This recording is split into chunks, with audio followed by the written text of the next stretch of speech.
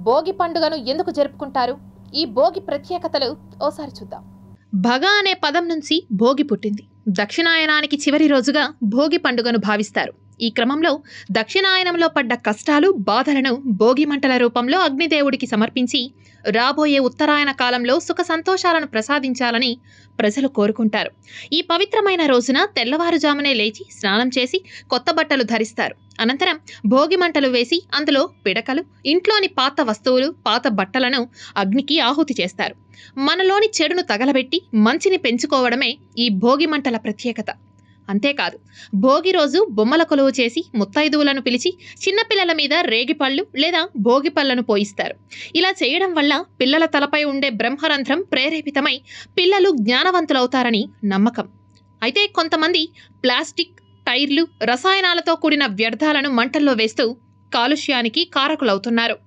దాంట్లో ఈ మధ్యకాలంలో ఈ పట్టణాల్లో అయితే మీ చుట్టుపక్కల విలేజ్లో ఇక్కడ ఎక్కువగా మనం పాతకాలంలో పెద్దోళ్ళు పురాతన కాలం నుంచి కూడా భోగి పండుగ అనేది ఒక మంచికి ఒక మంచి ఫలితానికి సూచికగా జరుపుకునే వాళ్ళు. దాంట్లో భోగి మంటలో మనం ఏదైనా పాత వస్తువులు మనం ఇంకా ఇంట్లో పనికి రాకుండా ఏదైనా పాత బట్టలు కానీ లేదంటే పాత వస్తువులు వాటిని భోగి మంటలో మనం భోగి మంట వేసి చేసుకునే వాళ్ళము. ఇప్పుడు ఈ కాల ఇప్పుడు రీసెంట్గా పాత టైర్లు ప్లాస్టిక్వి అవి వేసి మా మండించడం వల్ల మనకి ఎన్విరాన్మెంట్లో ఆ టైర్ల వల్ల కార్బన్ డైఆక్సైడ్ కానీ నైట్రోజన్ వెలువడి ఎన్విరాన్మెంట్ని మన ప్రకృతిని చుట్టుపక్కల పరిసర ప్రాంతాలని ఇవన్నీ డ్యామేజ్ చేస్తున్నాయి. ఆ పొగ వల్ల వాటిని పీల్చడం వల్ల చుట్టుపక్కల ప్రజలకు కానీ నగరవాసులకు కానీ ఎంతో ఈ లంగ్స్ ప్రాబ్లమ్స్ కానీ శ్వాసకోశ వ్యాధులు రావడానికి కానీ కొన్నిసార్లు ఈ మన ఇంట్లో ఇప్పుడు ఏమైందంటే ఇంట్లో పనికి పాలినటి వేస్ట్ అయిపోయినటువంటి కూడా ఆ మంటలు వేయడం అనేది ఒక అలవాటుగా తయారైంది.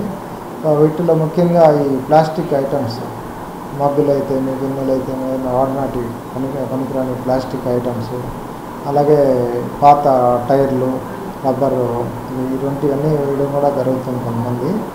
సో ఈ మామూలు వాటికంటే వీటిలో కొన్ని ఎక్కువ టాక్సిన్స్ అంటాం. అంటే మనకి శరీరానికి హాని కలిగించే కెమికల్స్ రిలీజ్ అవుతాయి. ఈ రబ్బరు ఈ ప్లాస్టిక్స్ వేసినప్పుడు ఏమవుతుందంటే వాటిలో carbon dioxide carbon monoxide furans dioxins అనేటువంటి కెమికల్స్ ఎక్కువ రిలీజ్ రిలీజ్ అవుతాయి.